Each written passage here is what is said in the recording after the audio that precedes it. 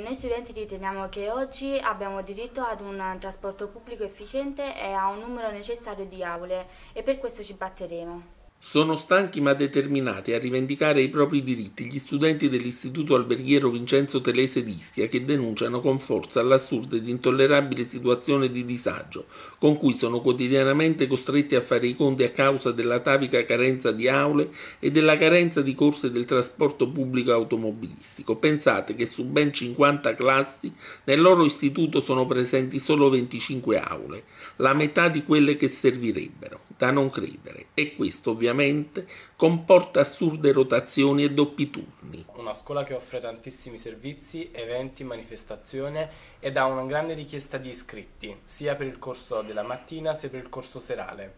Abbiamo 900 alunni e con un totale di 25, uh, di 25 aule, ovvero la metà.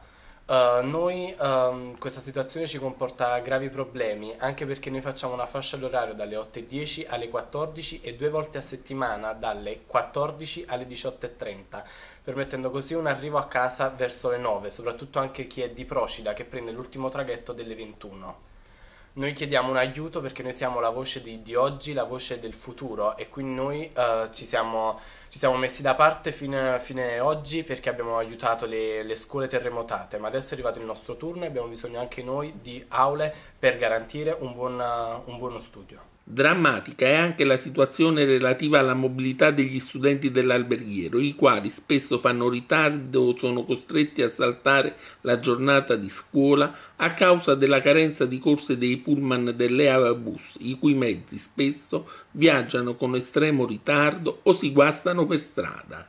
Siamo qui oggi per parlare di questa problematica molto grave che affrontiamo noi alunni quotidianamente. Noi ragazzi ci troviamo ogni mattina col dubbio di non sapere se arriviamo in orario a scuola, se ci arriviamo a scuola, in quanto questi pullman o non passano o passano in ritardi o sono pieni.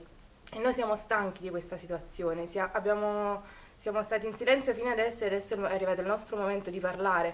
Come tutte le altre scuole ci vogliamo far sentire anche noi perché è una dinamica che prende tutte le scuole dell'isola e noi siamo veramente al limite. Ci troviamo quotidianamente a combattere contro delle persone che non ci vengono incontro, non solo per noi alunni ma anche per i turisti e questo è un fattore veramente drammatico visto che noi siamo un'isola che lavoriamo su questo.